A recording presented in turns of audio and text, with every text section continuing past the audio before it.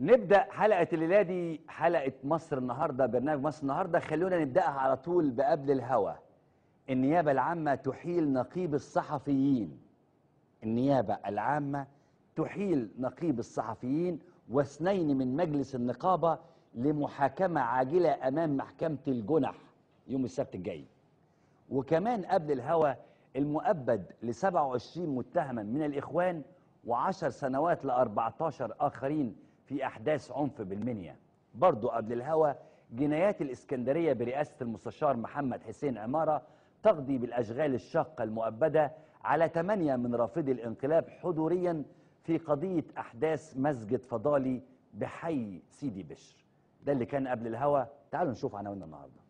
يلا بقى نبدأ الحلقة النهارده بالعناوين وهنبدأ مثلا يعني من المستحيل من المستحيل اطلاقا إنك أنت تسيب حاجة اشتغل لك السيسي عليها يعني. يعني السيسي ما شاء الله راح افتتح مشروع بيقولوا نووي تقريبا أو مشروع آه، حاجة كده خاصة بالحروب الجيل الرابع يعني. فصعب تسيب ده وتتكلم على أي قضية تانية غلاء أسعار بقى والقصص دي. أول عنوان بيقول السيسي يتجاهل الغلاء ويدعو الشعب للجوع والتقشف ويدخل في نوبة ضحك هستيري مرتين. السيسي الناس بتضرب بعض بالجزم في كارفور على شوال رز أو شوية رز. السيسي بيجي في الفيديو النهاردة أو في افتتاح النهاردة ويتكلم يدعو الشعب للجوع والتقشف معلش بقى يعني سيبك من السيسي خالص. يعني سيبكم من الكلام كله يعني. هناخدها واحدة واحدة بس خلوني أبدأ بس بالقصة دي. يعني في نقطتين لازم نتكلم عليهم. أول نقطة إن أي عمارات في الدنيا بيتم افتتاحها كان غالبا بيروح يفتتحها محافظ. غالبا. يعني اقرأ كده أيام الرئيس عبد الناصر أو السادات مثلا لما كانوا يفتتحوا أربع خمس ست عمارات كنت تلاقي ال- الرخامة بتاعت العمارات افتتح المحافظ السيد فلان الفلاني في عهد الرئيس فلان افتتح المحافظ مثلا آه، البحر الأحمر كذا آه، مجموعة عمارات اسمها كذا. عمارات يعني في النهاية عمارات مساكن. أنا قلبي مساكن شعبية. مصر عايشة على المساكن الشعبية من ساعة ما شفنا وش عبد الناصر. بس الحقيقة عبد الناصر ما كانش بيتفه نفسه ويهيف نفسه ويروح يفتتح مجموعة عمارات. ما كانتش بتحصل. الحقيقة دي نقطة. الرئيس يفتتح حاجات كبيرة وإلا يعني لو بنتكلم على مشاريع عملاقة بقى يبقى بصراحة نجيب سيرة حسب الله الكفراوي بقى. مدينة السلام و6 أكتوبر ومدينة السادات. مشاريع بجد يعني. مشاريع مدينة السلام دي كان مشروع عمله حسب الله تكره حسب الله تحب حسب الله مش مشكلة في حسب الله. إنما مشروع مدينة السلام ده كان مشروع عملاق. ده أنشئ في عهد السادات واللي نفذه وأنشأه مجموعة شركات منها تقريبا المقاولين العرب. آه مش منها ده من المقاولين العرب وشركة أطلس وشركة كده ومحمد ومختار إبراهيم وشركه اسكندرية يعني. مجموعة شركات راحت نفذت آه، مدينه السلام وعملت مشروع عملاق. السادات اتعملت في عهده. 6 أكتوبر في عهد السادات. لكن مش القصة بقى إنك تجيب لي ست سبع عمارات أو كومباوند وتروح تفتتح وتعمل إنجاز. دي ده هجص فاضي. بصراحة دي قلة مشاريع.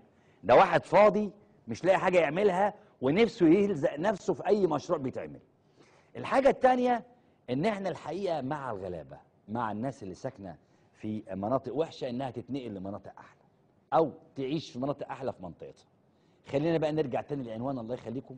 السيسي يتجاهل الغلاء ويدعو الشعب ويدعو الشعب للجوع والتقشف ويدخل في نوبة ضحك هستيري مرتين. الأخ النهاردة ساب كل الغلاء واللي إحنا بنشوفه ده. تعالوا نشوفوا كده فيديو. السيسي إزاي دعا الشعب للجوع. اوعى تصدق بقى. اوعى تصدق القصص. اسمع كده. اسمع فيديو عشان تعرف هو قال كده ولا لا. نشوفوا فيديو كده. عدد يقرب من 150 ألف أو 160 ألف وحدة سكنية اللي إحنا كانوا عايزين يعملوهم يعني بخطة طموحة في خلال ثلاث أربع سنين. عشان نعملهم دلوقتي إحنا بنتكلم في 14 مليار جنيه. طب ما هو الكلام ده كله الحكومة لما تيجي تدبره هتدبره منين؟ بصراحة كده. يعني وزير التخطيط دايما مطلوب مني بصراحة والرئيس الوزراء بس هيعملوا لي إيه؟ ما أنا بقول وهم عايزين وبعلن قدام الناس فبحرجهم صحيح بس أنا عارف. ملناش خيار تاني. غير إن إحنا عشان كده بقول للمصريين لو الأمر يتطلب مننا إن إحنا ما ناكلش ما يبقاش في وسطينا حد عايش كده. أنا ما أقدرش أنام وآكل وأبقى مبسوط وغيري لا بياكل ولا مبسوط. الموضوع كده الدولة اللي بتحب بنفسها دولة أهل البلد كلها اللي بيحبوا نفسهم نفسهم يعني أنا و- وجاري وزميلي اللي هنا واللي هناك في كل حتة في مصر. كلنا نحط إيدينا في إيدين بلدنا في إيدينا في إيدين بعض. عشان مش عشان ما حدش يعايرنا بفقرنا زي ما أنا قلت في فقط. لا ما دام عندنا فرصة إن إحنا تصوروا الطفل الصغير ده أو آه، السيدة الكبيرة ديت اللي هي قاعدة ما عندهاش أي شكل من أشكال الأمان ولا ال ال الشعور بالرضا أو الراحة. وإحنا قاعدين نتفرج عليها ونقول هنعمل إيه. مفيش حاجة اسمها إحنا هنعمل إيه. إحنا إن شاء الله بفضل الله سبحانه وتعالى هننهي هذه المشكلة خلال السنتين القادمتين ويبقى مفيش ابدا الشكل اللي إحنا شفناه ده مش موجود آه، في مصر مرة تاني. عايز تضحك على أي شعب اتكلم على الغلابة. عبد الناصر كان يطلع يقول قوى الشعب العاملة. الناس تصرخ تحت. مين قوى الشعب العاملة؟ طب استفادت دي قوى الشعب العاملة؟ ما تعرفش. السادات كان يطلع يقول آه، أخلاق القرية العيب. الناس تنبسط قوي تتكيف قوي. اكتشفنا السادات كان يعني مليونير بالأرقام بتاعت وقتها. عبد الناصر كان عايش في فيلا وراجل تمام طب فين بقى قوة ولاد عبد الناصر كسبوا مكاسب بالهبل. مش كلهم عشان بس من ما نجمعش. فيهم واحد أنا بحترمه يعني. إنما الباقي كله عايش في البلالا لاند ده بقى طالع ياكل عيش. ما هو بص عايز تاكل عيش مع الشعب المصري ده وت- وتسجل معاه اطلع اعمل نفسك غلبان زيهم. اطلع اعمل نفسك يتيم. اعمل نفسك فقير. الجو اللي عمله عبد الفتاح السيسي ده بيفكرنا بص السينما يا جماعة مع احترامي اللي بيشوفوش السينما السينما حلت القصص دي. افتكر معايا القصة الرائعة ليوسف السباعي أرض النفاق. افتكر معايا الكوميديان الرائع اللي لم يتكرر فؤاد المهندس لما نزل انتخابات وبعدين العربية توصله قبل السرادق اللي عاملينه في الانتخابات فيجي واقف مغير لابس البدلة المقطعة ويقف يخطب وهو متأثر بالفقراء وبعد ما يخلص السرادق والخطبة دي يجي راكب العربية بقى بيه تاني يرجع للتكييف. نفس قصص عبد الفتاح السيسي. عايز أقول له يوسف السباعي كتبها من 40 سنة. فكرة إنك تقعد تقول أنا ما أقدرش آكل وولادي هنا. يقلب كده فجأة على المدام هند رستم ما بياكلش الجو ده غير مع الهبل. وأنا أتصور إن الشعب المصري كبر على القصة دي خلاص يعني اتفطم بقى يعني مش معقول هيطلع مطرب أو ممثل أو لاعب كورة ودي حصلت كتير قوي يطلع يعمل كده ويعمل كده ويسبل و... خلاص خلصت القصة. هو بيقول ان أنا ما أقدرش ما أعرفش ما أقدرش يعمل إيه لكن بيقول إن الأربع خمس عمارات اللي افتتحهم النهارده دول اللي كان بيفتتحهم محافظ زي ما عبد الناصر دول نواة لمشروع كبير عملاق قوامه 150 ألف وحدة سكنية مش 150 ألف عمارة. تفرق. العمارة ممكن يكون فيها 14 شقة مثلا. ممكن يكون زي عمارات مدينة السلام كان خمسة في الدور وهي خمس أدوار خمسة خمسة 25 دو آه، شقة. ففي فرق بين الوحدة والعمارة. عمارة هو بيقول 1000 150 ألف وحدة سكنية. على كام سنة بقى يا عبد الحليم؟ على مي على ثلاث سنين. ثلاث سنين؟ آه. فين بقى المليون وحدة سكنية اللي انت كلمتنا عليهم زمان أيام إبراهيم أبو حمالات والمدام لميس لما قعدوا معاك وكلمت على إن في مليون وحدة سكنية؟ في الآخر اللي طلعنا بيه 150 ألف على ثلاث سنين انت آخرك مع المصريين مفروض سنتين. يعني آخرك مع المصريين سنتين. وأنا بقول الكلام ده مهم قوي الكلام اللي بقوله ده لسبب لأنه معنى كده إنه حط رجله في الفترة اللي جاية. لو سكتوا يعني. يعني هو راح عمل إيه؟ حط رجله هو هو قدامه سنتين خلاص. 2018 انتخابات رئاسية جديدة. مفروض يعني هو راح حط رجله في 2018 بقينا كده بالفيديو ده بقينا في 2019 طيب طلع يقول لك أنا وما أقدرش أعيش لأن عملها قبلك فؤاد المهندس فانا لسه مفكركم. شوفوا بقى زمايلنا في الكنترول جابوا اللقطة. نشوف كده فؤاد المهندس. فقرينا زمان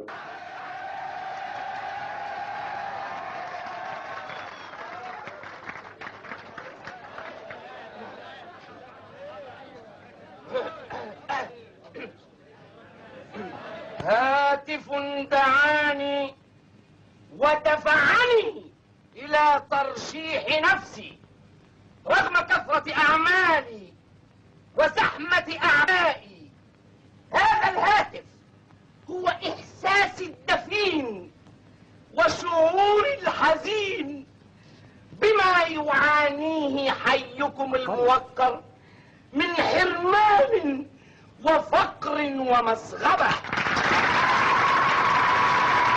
لا لا تهتفوا لي بل دعوني أنا أهتف لكم.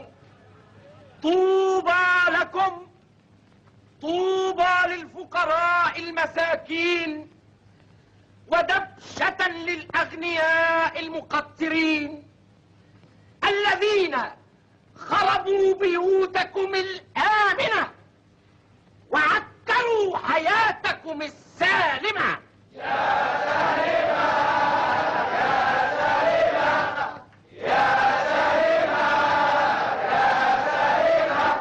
بعيني أنا شفت دعاية ظالمة. ده العبقري فؤاد المهندس عمل المشهد ده من 40 سنة. المشهد ده من فيلم أرض النفاق. كفاية بقى يعني كفاية يطلع عليكم زعيم واثنين وثلاثة بيعملوا نفس المشهد اللي عمله المحترم فؤاد المهندس. عمله بمنتهى البراعة. على فكرة بس ناقص حتة صغيرة لما كان بيوصل بالعربية الفخمة والسواق ينزل يركن على جنب يلبس البدلة المقطعة دي عشان يطلع يقول الأغنياء بهدلوك. قصة خلصت.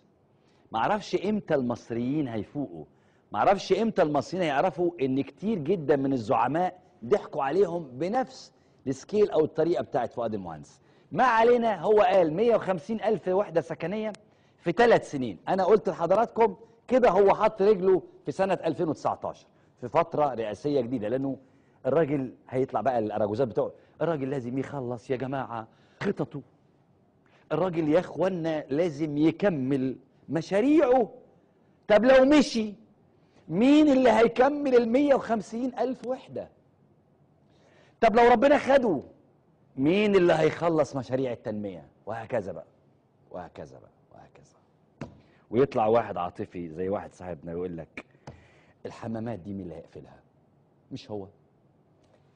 كل القصص دي أنا بقول لكم أخطر ما في النهارده إنه حط رجله في الدورة الجديدة. لكن خلينا نقول 150 ألف وحده سكنيه في ثلاث سنين اتكلفوا هو بيقول هيتكلفوا 14 مليار جنيه.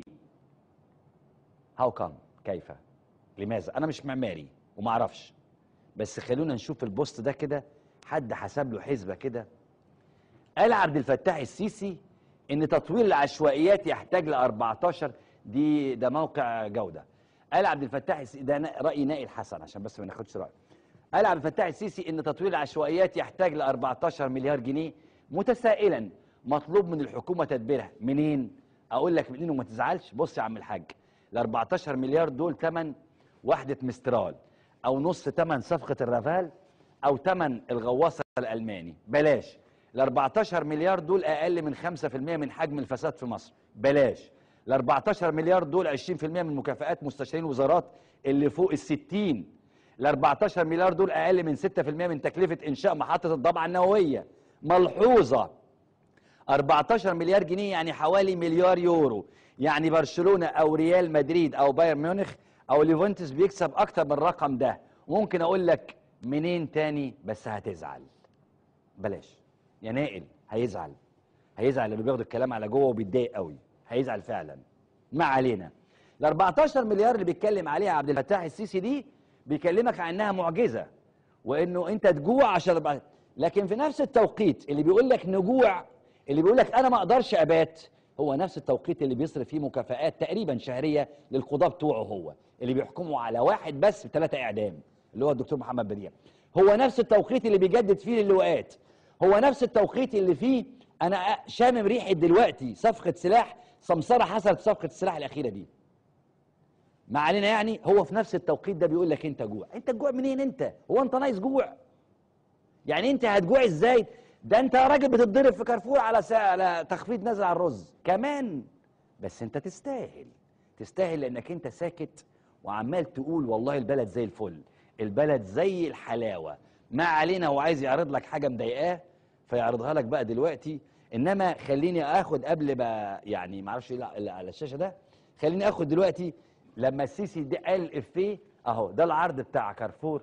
اللي الناس ضربت بعضها عليه. اتعرض بقى والسوشيال ميديا كانت اتكلمت عنه وناس زمايلنا زعوه وإحنا ما رضيناش نذيعه أكتر من مرة لأنه عيب عارف؟ ما يصحش.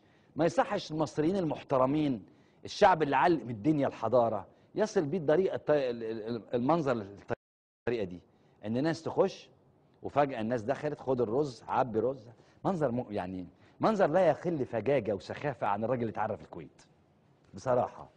منظر لا يقل سخافة ولا فجاجة ولا سفالة عن المنظر. يعني ما أعرفش بصراحة.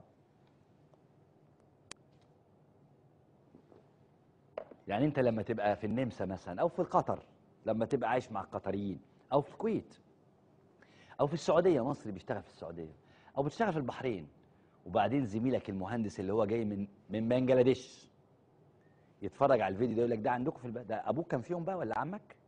عمتك كانت نازلة كارفور يومها؟ أصل ما كانش في ميدان مصطفى محمود. يعني إحنا شفنا المناظر دي في ميدان مصطفى محمود الناس اللي بتطلع ال- المظاهرات بالفلوس دي ياخدوا مية معدنية بالطريقة دي. لكن ده في كارفور يعني اللي رايح في كارفور ده معاه على الأقل في جيبه مش 2000 مش أقل من 2000 جنيه. يعني رايح يشتري حاجات يعني راجل مبسوط يعني مش معدم مش تحت خط الفقر. إنما راجل كويس ميسور يعني مش بلاش ميسور مستور مستور كويسة. فلما يتهطروا الهطره دي ويقلوا اداء على بعض وفي فيديو تاني الواحد قلع الجزمة وقعد يضرب الستات في بالجزم. وهو زعلان على الست بتاعت المنيا. لواحد قلع الجزمة ونزل في ستات كده مجموعة ستات نزل فيهم ضرب بالجزم. في حاجة زي كارفور برضه أو كده. يعني دول ما نعتذر لهمش ما علينا يعني. النهارده السيسي كان حب يشد سوكسيه ضحك بس ما جابش معاه ضحك. يبدو إن الممثلين ما هو على كده على زمان الكوميديانات المشهورين قوي زي وحيد سيف و- كانوا يقول لك في جمهور كده ما تعرفش تضحكه. زي جمهور المصايف مثلا. حاجة غريبة جدا جمهور المصايف. بيطلع الواد مسلخ من البحر والست اتقشطت شمس ويقعدوا في المسرح عاملين كده وجسمهم يعني وارم من الحر وال- والملح. فالممثل يقف على المسرح يرزع الإفيه أو الكوميديا ما بيضحكوش. النهارده السيسي عمل زي دول بقى. راح رازع افيه وضحك. بس الناس تعال نشوف كده الافيه ده. من جيبها كل ثروتها دفعتها ده احساس بالأمن والطمأنينة إن أرض مصر الطيبة إن شاء الله هتبقى طيبة. بوجود سيادتك وبارك الله فيك. شكرا جزيلا يا فندم. إحنا هنعمل إيه في الفرش؟ هنعمل إيه في الفرش؟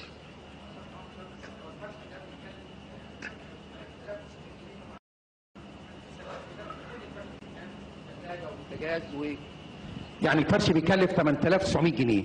ثلاجه وبوتاجاز وغسالة ومطبخ والدولاب وثلاث دواليب وأوضة بالكامل. وإحنا تحت أمر سيادتك إحنا عملنا على فكرة سيادتك خدنا في ال 25 قريه الأولانيين ما خدناش ولا مليم وعملناهم من عندنا. يعني أنا بخاف اتناقش مع سيادتك لأن بطلع كل فلوس الجمعيه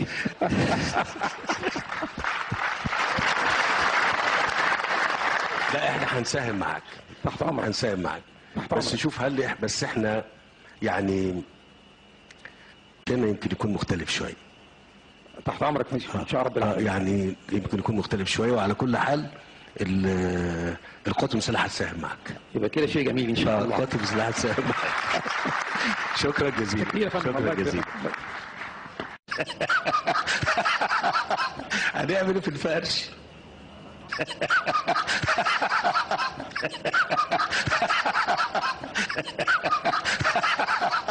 في ال 25 قريه الأولانيين ما خدناش ولا مليم وعملناهم من عندنا.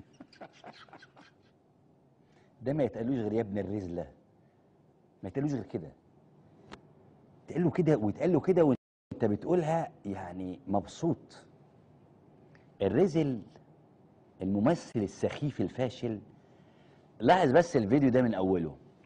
الراجل أبو دقن المحترم طلع قال كده. بس قبل قبل ما قبل ما لا لا لا قبل قبل ما قبل القصة دي خليه بس أقول لك حاجة وبعدين ضحكته ممكن تخوف عيال صغيرة. آه قبل القصة دي خالص خليني بس أفكركم قصة. مرة أيام حسني مبارك كان حسني برضو تافه كده زيه يفتتح شقة وبتاع والحاجات دي. فجأة تلاقي إيه الرساله اتقطع وزيارة ميدانية لسيادة الرئيس. وفجأة تلاقي الرئيس داخل شقة ها أخبار الشقة إيه؟ زي ما يكون جابها من جيبه مثلا. وبعدين تلاقي الشقة مفروشة. وبعدين تلاقي ال ال يخش الحمام شقة هي كلها على بعض 35 متر يعني. تلاقي سخان في الحمام مثلا 70 لتر. ده الشقة على بعض 35 م- يعني متر. تلاقي ال- السخان قد نص الحمام. وبعدين في الصالة تلاقي نجفه فكنا بنقع من الضحك على الكوميديانات دي يعني يا جماعة مش كده؟ ما تبقوش يعني ما توسعهاش قوي كده. نجفة في الصالة. طب ماشي فرش يعدي. انما ده كان أيام حسني مبارك. هو بقى حس ان المصريين ممكن ما يكونوش زينا كده سيئين خدوا بالهم. هو يقول أنا هفرش. فالراجل طلع قال المشروع كله. ويبدو ان الراجل ارتجل رقم كده قال لك الفرش هيتكلف. الراجل ما جابش سيرة الفرش. فقال له خد. هتعمل إيه في الفرش؟ لاحظ بس في الفيديو ده عشان إحنا بنتكلم على فيديو لاحظ حاجتين. اقف بقى هنا اقف هنا. محمود حايل ده النهارده مسعد معايا ما ترحلش ولا فريم يا مسعد الله يخليك. عشان الفضيحة هتبقى كبيرة معاك. الراجل ده ما جابش سيرة الفرش خالص. هو بيتكلم على أي حاجة تانية الشقق والوحدات وبتاع. الراجل خلص كلمته. امشي بقى معايا يا مسعد. خلص كلمته. هات بقى الصورة من فوق بتاعة الكرين دي. قال الراجل الكلمتين اللي عنده وإحنا هنعمل وعليا الطلاق والدنيا حلوة والسيساوية أجدع ناس في التاريخ. وما بي... بس تقف هنا بقى. هنا بقى في اللقطة دي ده المدعو عبد الفتاح السيسي وده المدعو بلا طموح صدق صبحي. صدق صبحي ميل على عبد الفتاح السيسي وقال له كلمتين لا مؤاخذة في ودانه. هو اللي باين قدامنا في ودانه يعني ميل كده عليه وقال له كلمتين في ودانه. هنشوفها أوضح من كده لما نمشي فريمين كمان كده. آه بص أيوه مال عليا مال فرع من الرمان. فايزه أحمد.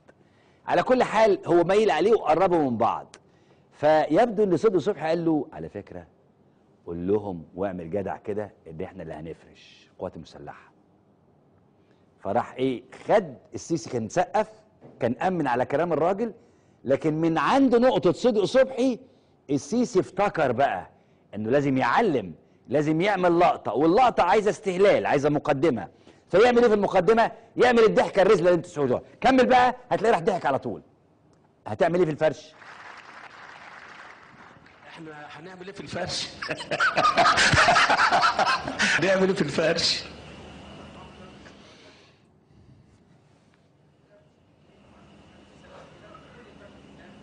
بس نقف هنا. بس هو صدق صبحي قال له إحنا ممكن نفرشها أو هنفرشها أو قول إن إحنا هنفرشها فهو حب يعلم على الراجل طب خد هتعمل إيه في الفرش؟ هو كده كأنك قاعد بصراحة في غرزة على ترعة. مش جو بقى فيه تنظيم وفي ناس متفق مع بعض على إيه المشروع لا ده جو ارتجال كله كله. فراح صدق صبحي قال له الفرش راح قال له خد تعالى هتعمل إيه في الفرش؟ أو هتعمل إيه في الفرش؟ وراح ضاحك. الضحكة دي في علم النفس ما لهاش أي تفسير تاني غير إن هو عايز يعمل آه، صدى عايز يعمل علامة عشان إيه؟ يعني إن إحنا ها تجيب أنت لمسة أكتاف على الأرض وأجي داخل أنا بالكارت بتاعي. أنا اللي هفرش. الضحكة دي هي علامة واحد منتصر كده هيسجل دلوقتي جول يعني من ضربة خلفية مزدوجة والعالم كله هيتكلم عليها. بص اللحظة دي قال له خلاص بعد ما ضحك إحنا هنفرق إحنا ممكن نساهم معاك. كمل بقى الفيديو. 900 جنيه ثلاجه وبوتاجاز وغسالة ومطبخ وثلاث دواليب وأوضة بالكامل. آه، وإحنا تحت أمر سيادتك إحنا عملنا على فكرة سيادتك خدنا آه، في ال 25 قرية الأولانيين ما خدناش ولا مليم وعملناهم من عندنا. يعني أنا بخاف أتناقش مع سيادتك لأن بطلع كل فلوس الجمعية. نقف هنا بقى. طبعا الجمهور ما كانش متفق على الإفيه وما فهمش الضحك فين. وفي نظرية في الكوميديا يقول الجمهور لو ما فهمش الموقف ما يضحكش. الكوميديا كده. لو ما فهمش الجمهور إيه الموقف كله ما يعرفش يضحك. ولا على فكرة يعرف يخاف. عشان يخاف أو يضحك لازم يفهم. فالجمهور ما فهمش يضحك على إيه. لأن المعلم مش قصده يضحك. المعلم قصده يقول أنا الكبير أنا داخل أنقط بقى. فقال له لا إحنا بقى إيه بقى؟ اتفضل. لا لاحظ قبل لحظه يا محمود. لاحظ بقى اللي بيلقموا مين؟ زي المسرح كده. عارفين الكمبوشه اللي في المسرح؟ عارف الكمبوشه؟ اللي هي البتاع اللي في المسرح كده بيقعد تحتها واحد ملقن يقعد يقول له قول كذا ويقعد يقول له الدور. الملقن هنا مين بقى؟ صدقي صبحي. عمال يقول له أيوه والفرشه مش عارف إيه. نسمع نشوف الجزء ده بس. معاك. تحت أمرك معاك. تحت بس. شوف هل إح- بس إحنا يعني آه، آه، الفرش هنا يمكن يكون مختلف شوية. تحت أمرك ماشي إن شاء الله رب آه، العالمين يعني يمكن يكون مختلف شوية وعلى كل حال ال- آه، القوات المسلحه هتساهم معاك يبقى كده شيء جميل إن شاء آه، الله. القوات المسلحه هتساهم معاك بس. شكرا جزيلا. بس. فهمت أنت حضرتك يعني إيه مختلف شوية الفرش؟ الراجل بيقول له هنجيب ثلاجه وبوتاجاز وتلفزيون ودولابين ومش عارف أنتريه وأوضة نوم وسخان ب 8000 جنيه. أستحلفكم بالله العظيم دول ماركتهم إيه؟ إيه الأجهزة دي كلها؟ لا، ده لو الحكاية كلها تكلف في مصر 8000 جنيه ده كان الجواز ك- الشباب كلهم اتجوزوا.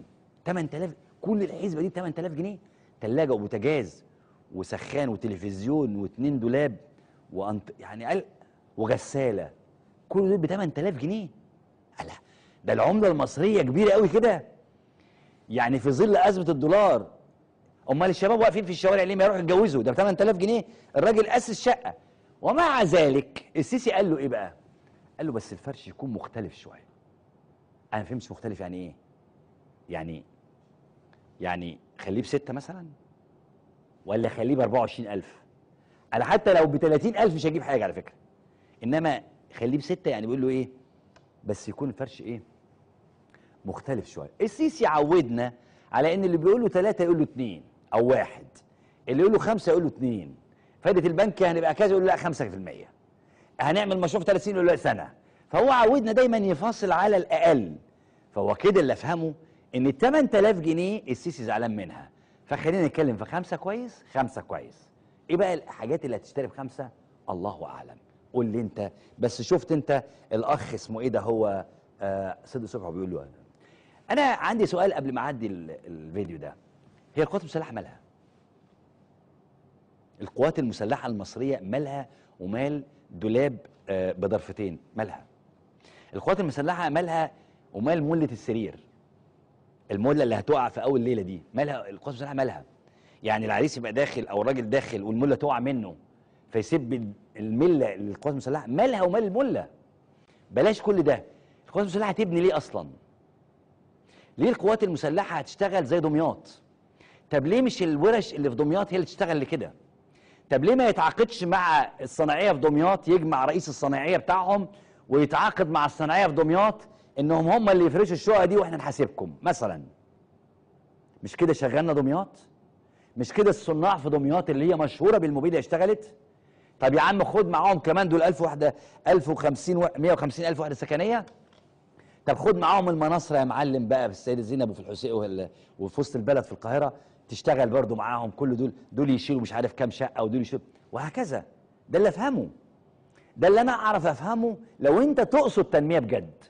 لو تقصد تنمية بجد يبقى الوحدات السكنية دي يبنيها المقاولين العرب تبنيها مختار إبراهيم يبنيها حسن علام تبنيها أي شركة. لو لو عايز تنمية بجد يبقى الفرش اللي بيتكلم عليه ده فرش خشب يبقى ياخدوه بتوع دمياط والمناصرة.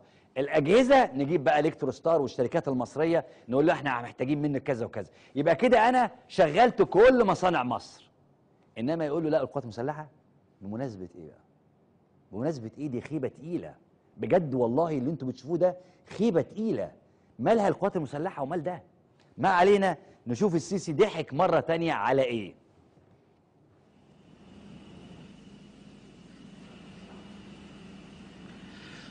سيادة الرئيس حينما تعطي أوامرك لإحدى هيئات أو إدارات القوات المسلحة بالشروع في مشروع ما فإن البعض هنا يتشكك هل فعلا سيستطيعون تنفيذ هذا المشروع خلال هذه المدة الزمنية الوجيزة؟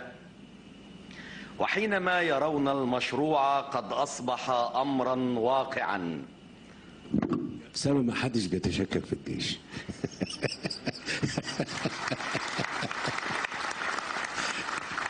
لما بنقول للجيش يعمل حاجة الناس ما بتتشككش يا أسامة. اتفضل.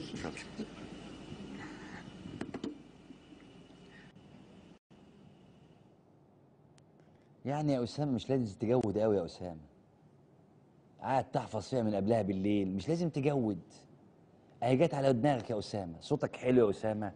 وقعدت تلعب بروفات قدام المراية كتير. وهو أنت ما تعرفش إن اللي قاعد قدامك سخيف؟ كان ممكن يعديها على فكرة بس هو مش عايز يعديها. ليه بقى؟ أنا هقول لحضرتك. النجوم الكبار في المسرح أنا بكلمكم بخبرة يعني. النجوم الكبار زي عادل إمام أستاذ فلان الاسماء الكبيره ما يحبش لحظة بس. ما يحبش الممثل الثانوي يعلم عليه. يعني لما نبقى أنا والممثل أنا نجم كبير والممثل الصغير ده معايا ما ياخدش مني الأضواء ما يسرقش مني الكاميرا. يسرق يعني يعمل حركات أو يقول افيه ما يعملش كده. لو عمل كده الممثل يكبسه الكبير النجم. يكبسه يعني إيه؟ يبوظ له الافيه يعني في ممثل كبير قوي نجم مشهور قوي معاه ممثل صغير في مشهد. الممثل عنده إفيه عايز يقوله هو حاسس إنه هيضحك الناس. فالممثل الكبير قال له ما تقولوش.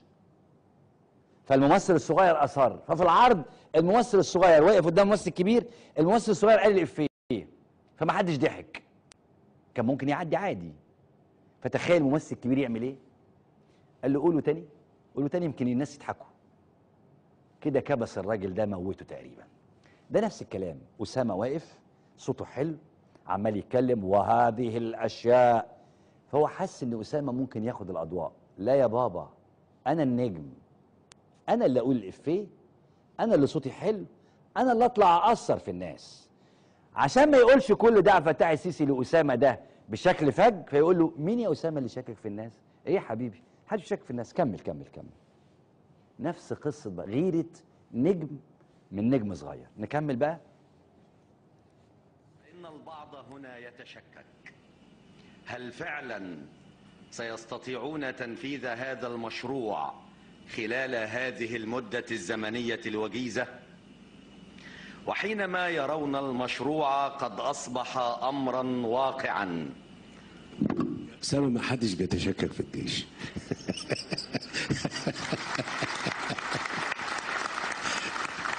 لما بنقول للجيش يعمل حاجة الناس ما بتتشككش يا أسامة. اتفضل.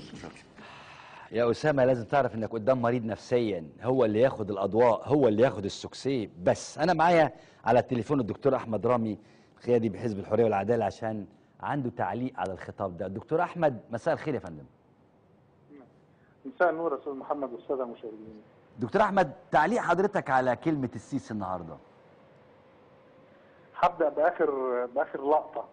أيوه. يعني أنا بس بفكر السادة المشاهدين جميعا بإن برضو ال- الوعد بتاع جهاز علاج الإيدز بالكفته كان صادر من واحد بيلبس بدلة عسكرية في حضور قيادات من القوات المسلحة أيوه. ومن إدارة الهيئة الهندسية أيضا أيوه. فدوت آه، ديت جزئية. ال- الحاجة الثانية يعني السيسي عايش في عالم وهمي وعاوز الناس كلها تعيش معاه في هذا العالم الوهمي. مم. يعني هو تجاوز آه، آه، غلاء الأدوية اللي يشمل في حدود 7000 صنف وال- والأول مرة في تاريخ في تاريخ الصيدلة في مصر الصيدلي واقف في صيدليته مش عارف يبيع بكام والأول مرة يزيد هذا العدد من الأصناف على المواطن والأول مرة يزيد بهذه النسبة الكبيرة. وإذا كإن الأمر لم يحدث على الإطلاق. أيوه. آه، طبعا غير آه، ارتفاع الأسعار بصورة عامة يعني بنركز على الدواء لأن هو ده اللي زاد الأسبوع ده. برضو آه، من الملاحظات على الخطاب دوت هو بيقول آه، السيسي نصا أنا لما كنت بشوف الصور اللي بتجيني في التلفزيون بيتكلموا عن المناطق العشوائية كان بيوجعني الشكل ده قوي والحياة ديت. هو السيسي ما بيشوفش المناطق ديت إلا في التلفزيون لأنه مش عايش في وسط الناس مش آه، لأن إحنا عارفين يعني آه، هذا المستوى من القيادات اللي في القوات المسلحة حتى قبل ما يبقى في هذا المنصب ما بتعيش في وسط الناس. هي بتشوف الناس في التلفزيون. بيشوف المناطق العشوائية في. التلفزيون فبيتألم. كأنه بيشوف فيلم يعني. تمام. وعاوزنا نعيش معاه بقى هذه الحالة من الإنكار بأن هو عاوز يوجه وسائل الإعلام ويوجه الفنانين إن ما يصوروش الحاجة ديت. يا جماعة يا أهل مصر الدنيا بقت وردي. فأنتوا ما تشوفوش إلا اللي السيسي عاوز عاوزكم تشوفوه. آه. بعد ما قال لكم اسمعوني أنا بس عاوز يقول لكم ما تشوفوش إلا اللي أقول لكم عليه. أيوه. برضه بيقول إحنا بفضل الله هننهي المشكلة اللي هي مشكلة المساكن العشوائية خلال سنتين. من سنتين تحديدا مثل هذه الأيام بعد سنتين أنتم مش متخيلين مصر هتبقى إزاي. طب إيه اللي حصل؟ مم. فدي بيعد بسنتين تانيين. فزي ما حصل في تلاتة. السنتين اللي فاتوا هيحصل في السنتين عايز الجايين. ثلاثة تانيين آه. مش سنتين. حاجة تانية بيقول أنا قادر أسلم مليون شقة آه، خلال سنة للمناطق العشوائية إحنا بس بنفكر إن دي المليون التانية لأن هو كان كان قد أعلن عن عاصمة إدارية أيوة. وكان أعلن عن إطلاق مشروع المليون فدان أيوة. والمليون آه، آه، وحدة سكنية وقال برضو آه, آه هو بيتكلم وبيشكر الجمعيات ال- ال- الخيرية في الوقت اللي هو مصادر فيه أموال جمعيات خيرية صح. في الوقت اللي هو مصادر فيه الجمعية الطبية الإسلامية في الوقت اللي هو مصادر فيه آه، صناديق آه، آه، آه، تع- تع- جمعيات تعد بالمئات على طول البلاد وعرضها السيسي مصادرها. أيضا بيتكلم إن القانون سيأخذ مجراه. طب خلي الدستور يأخذ مجراه الأول.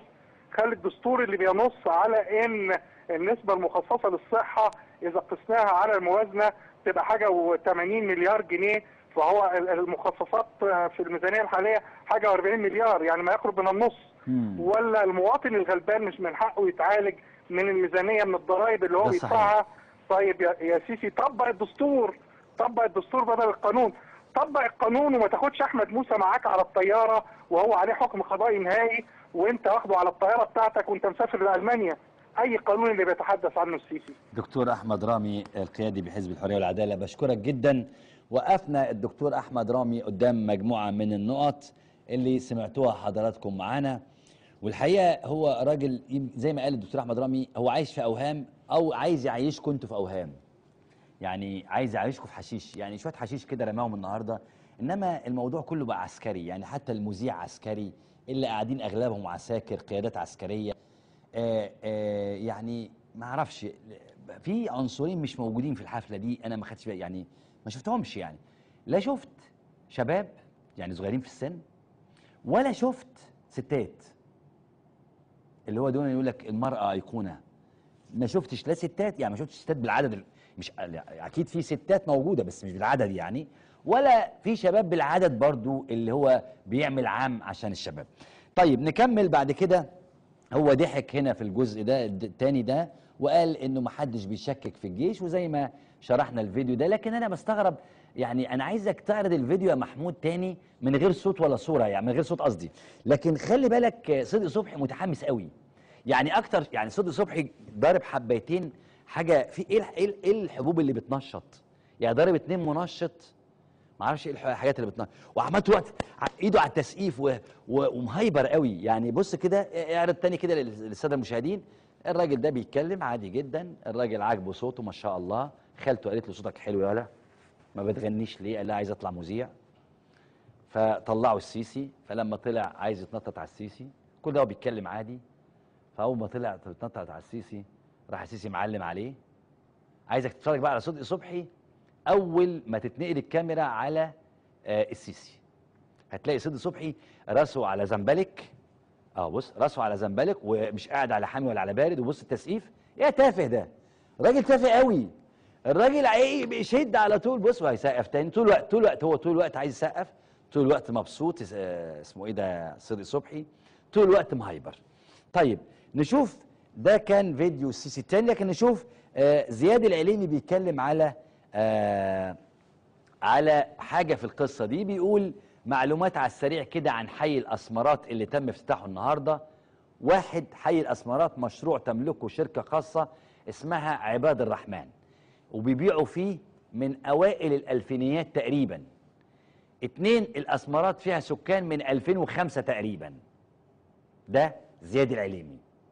بيقول حي الأسمرات اللي السيسي راح نفتتح النهارده مشروع فيه بيقول حي الأسمرات مشروع بتملكه شركة خاصة اسمها عباد الرحمن وبيبيعوا فيه من أوائل الالفينات تقريبا وبيقول الاسمرات فيها سكان من 2005 الحقيقة أنا مصدق زياد العليمي لأنه ارجعكم تاني زمان قوي في مكملين هنا قبل ما أنا آجي مكملين أصلا لما كانت بتذيع التسريبات لما كان السيسي بيتكلم عن مليون وحده سكنية كانوا بيقولوا إيه؟ لو أنتوا فاكرين في التسريبات أنت تحط يافطة هنا على أول طريق اسكندرية ويافطة هنا مش عارف فين ويافطة كده فكده تبين الناس إن في مشروعات سكنية. ده كان تسريب قديم قوي.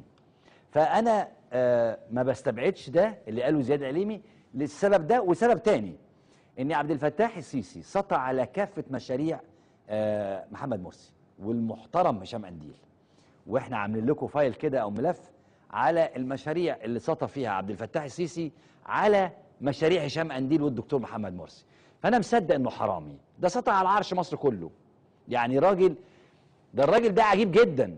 ده راجل ضحك مثلا يعني على الدكتور محمد مرسي وضحك على الثوار وضحك على الشعب وضحك على الفلول. الراجل ضحك ده ضحك على أمريكا. الراجل ضحك على كل الناس وكل الناس لعب لها وش. عادي جدا إنه يسرق مشروع زي حي الأسمرات. عادي راجل حرامي. هو تركيبة حرامي. هو تركيبة حرامي. فانا مصدق زياد العليمي إن المشروع موجود أصلا. خلينا نشوف وزير الصحة والخبر بتاع وزير الصحة وزير مصري تحصيل اشتراكات من المواطنين لسد العجز. قال وزير الصحة المصري ده في 30 مايو النهاردة أحمد عماد أن وزارته لم لم تشرف على إعداد الميزانية الخاصة بها وإنما ما تولت وزارة المالية هذه المهمة وكشف عماد عن خطة وزارته لتعويض العجز من خلال تحصيل اشتراكات من جميع المواطنين دون استثناء. بدعوى تقديم خدمة طبية أفضل وتنمية المستشفيات على مستوى الجمهورية. أرجعكم تاني كلام الدكتور أحمد رامي اللي معانا كان معانا من شوية على التليفون لما قال الأدوية مشكلة في مصر. وانتوا إحنا جبناها هنا وفرضنا لكم حلقه على الأدوية. واعترفوا في مصر إن في مشكلة في الأدوية. واعترف وزير آه، وزير الصحة إن تلت يعني تلت الأدوية مش موجود في الصيدليات المصرية. تلت أدوية مصر مش موجود. ورغم ذلك عبد الفتاح السيسي يجي هنا ما يجيبش سيرة الأدوية. طب بقى الملايين اتكلمنا عليها بتوع الكبد والملايين بتوع الكلى والملايين بتوع فيروس سي والملايين مش عارف ملوش دعوة بيهم خالص. ليه؟ مش هياكل مع الناس. إحنا مالنا ومال قرف وعيا ودبان وحاجة تلزق. عشان كده آه عادي جدا إنه وزير صحة يطلع يقول إن إحنا هن- هناخد من المصريين اشتراكات بدون استثناء تحت دعوى تقديم خدمة متميزة. تعالوا بقى نسيب القصة دي كلها. سيبك من السياسة بقى نتكلم في السينما. في السينما في مثلث مهم جدا ما تجيش عنده. يعني هو كان مثلث بس عمال يتقلص كده مثلا منهم الجنس مثلا. الجنس السينما مشكلة. بتواجه كل يعني على يعني على كل مستويات الرقابة في مشكلة في الجنس. وبعدين في مشكلة السياسة. إنك أنت لو خبطت في السياسة يعني إيه خبطت في السياسة؟ يعني خبط في أي حد. طلع كمال الشناوي في الإرهاب والكباب يعمل دور وزير داخلية ويطلع ويضحكوا عليه والخيارات الداخلية تطلع بشكل كوميدي. لكن ما تجيش عند الرئيس. دي كانت مشكلة.